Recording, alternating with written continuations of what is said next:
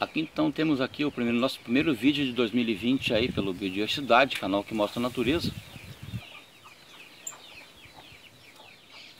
Temos o vagalume de dois olhos, que é aquele que tem duas lanternas na frente, né?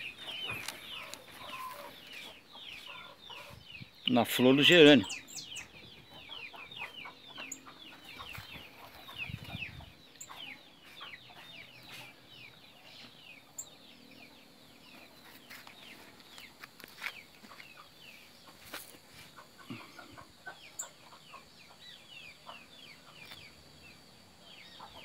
Aqui na região é comum, Águas Claras, zona rural do Viamão. No verão eles aparecem.